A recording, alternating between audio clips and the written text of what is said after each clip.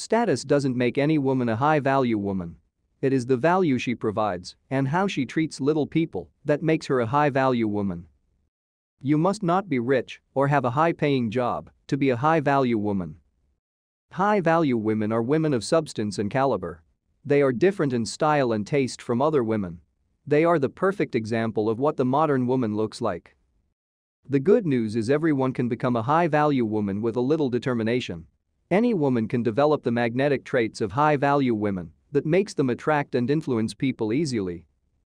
The irresistible charisma of high-value women comes from their ability to compound atomic habits into an impeccable personality.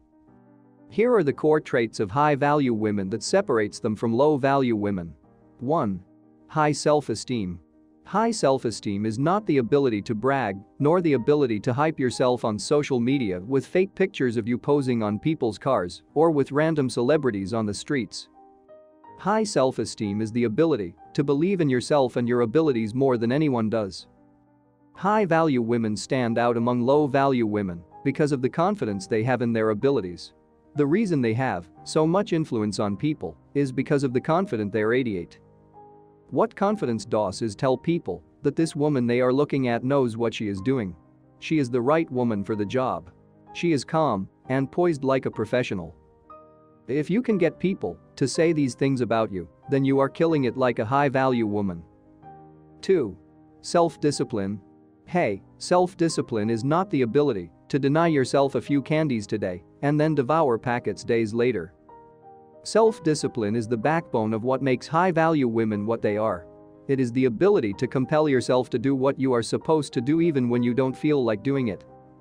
Are you self-disciplined or someone who has to be instructed or reminded to do something good for themselves?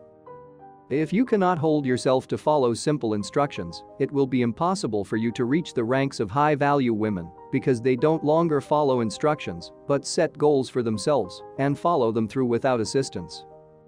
Of all the habits one can form to reinvent themselves, self-discipline is the hardest, but possible. All you need to do to be a disciplined woman is to start with baby steps. It takes time, but with consistency you will eventually get there. When people start talking behind your back, that you are not easily distracted from your goals, that you are true to your words and you hate undisciplined people. That, my friend is when you have achieved self-discipline. 3. Determination. Called it determination or willpower it means the same thing, the ability to control your thoughts and the way in which you behave. How do you behave around people? Are you a gossip, a liar or the type that seeks for notice everywhere you go? Can you say you are a determined woman who is ready and willing to follow through with every inch of her plan to achieve her goals? A woman that is bent on giving her very best to make a difference. A woman who will never settle for less until she sees the light at the end of the tunnel. If you are that woman then you are a high-value woman. Thanks for watching this far. If you are not, this last atomic habit of the high-value woman is for you. 4. Self-love. Any woman that has achieved any great thing or done something extraordinary like high-value women have her looks as the least of her worries. Today looks are stopping most women from pursuing their dreams.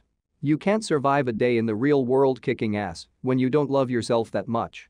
High-value women have quirks and imperfections that they worry about because they know that what people look for in others is the goodness in them.